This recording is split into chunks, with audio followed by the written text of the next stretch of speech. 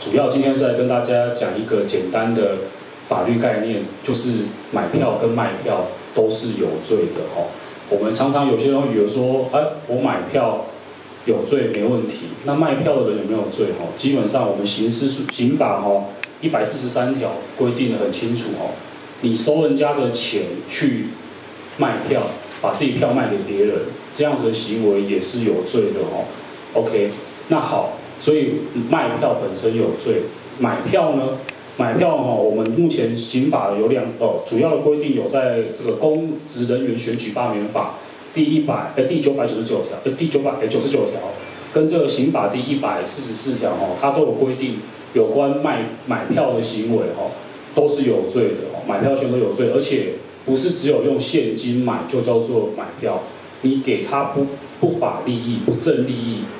哦，例如像刚刚我们于凯说到的哦，去帮忙瞧一些位置，去做这种承诺，这种东西很明显也都会被认为是一种买票的行为，而且不是只有对个人买才会构成哦。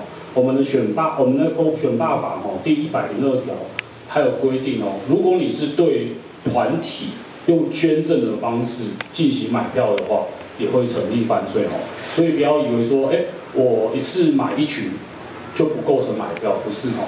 我们的法律是有规定的，只要有任何不不正利益去约定你的投票行为，不管是投票或是不投票，都是种买票的行为哦。那还有哦，我刚刚老师呃，我们候选人和老师都有提到，很多这个庄脚都会把罪责往身上搭哈。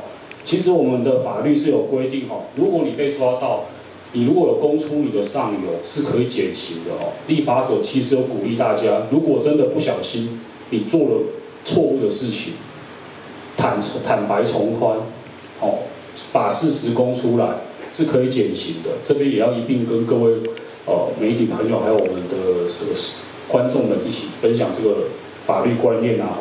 总而言之哈，买票跟卖票都是有罪的哈，都是有罪的，不要呃。以身试法，因为其实现在，呃，我们知道的，其实台湾现在在打击这个贿选案，其实是非常积极的哦。如果你遇到了贿选，该怎么做哈？主要呢，最好方法就是你收证之后，把证据给地检署哦。我们这边有这个地检署的电话，打电话给地检署。如果查获呢，地检署这边，哦，这边有电话哈，这个零八零零零二四零。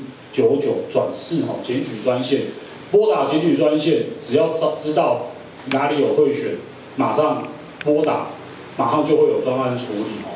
这边要跟各位呃观众朋友再说一次哦，买票卖票都是违法的。